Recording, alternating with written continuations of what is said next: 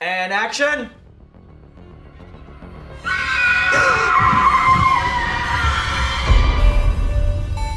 You gotta take chances because if you don't, you end up making the same old thing again and again and again. And there was a reason that I really did not want to make another haunted house film because I feel like I've done that so often already. And then the world starts changing. I really made this movie for the horror fans that's inside me. It's great to go back to an original concept that isn't based on anything at all, that isn't a sequel. I think audiences are starved for something that's new and different. One, blind, one, Gabriel,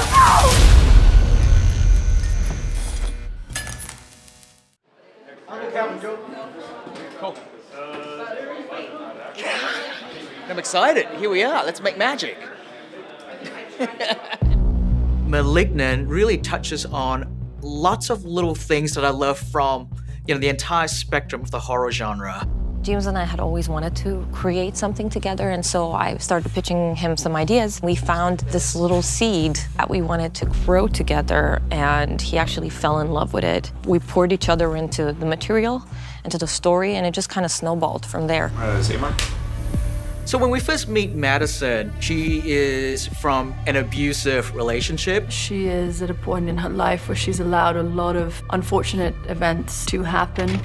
And there's always something kind of about her where she feels like she doesn't quite connect with this world. Whatever you went through before you joined our family, it hurt you in a way that I can't even imagine. The way I've depicted the psychic vision that she sees, it kind of hits her from out of the blue. I have a lot of nightmares and night terrors. So night terrors, it's a little more violent, but they also bring ideas. I can't stop them, and I don't know when they're coming. So put it in a movie. She's going about doing her everyday chores at home, dealing with stuff, like she could be doing her laundry, so, you know, cleaning the kitchen or whatever. And then suddenly she'll be frozen, she'll be locked in place, and then her world will literally melt away. And then slowly but surely, we see pops of the second location coming into her frame of view. Can I do that? What? The siren, if you have one. I don't know if I do. I can just make that noise. We come in on her husband like all backwards, all every which way. But I'm really cool about it though, because that's the kind of girl I am. It's definitely important to have the comedic elements in this film to act as a foil. That contrast gives the audience that sort of ride. Holy shit. One of the toys that I played with is the spider cam. And there's this really cool scene where Annabelle is freaking out through the kitchen, through the living room, up the stairs, down the hallway, and into her bedroom. I wanted to do all that in one shot. And because it was all built on soundstage, it allows me to come up with really interesting camera work. Slow down around there, Lon. Slow down. Slow, slow, slow. Yeah. Okay, now go. Almost like a dollhouse, right? You, you, you remove the ceiling, you cut the ceiling off, and you put a camera above there, and you just sort of track it through the whole house. Made for a really exciting and interesting shot. Set, ready, and action, Maddie. Ready, and run! Go, Annabelle!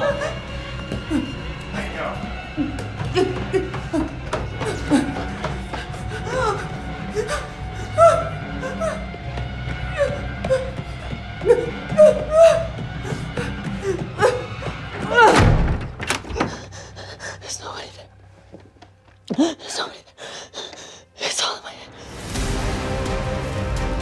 I chose this project because I believe that James is in one of the bravest points in his career. And I wanted to work with a director who was at that level artistically. This was the right time for me to go back and try something that I'm known for, that I'm familiar with, but at the same time, try it in a world that I've never really played in. I could not have picked a better group of people to make this film with and share this film in with. Thank you so much.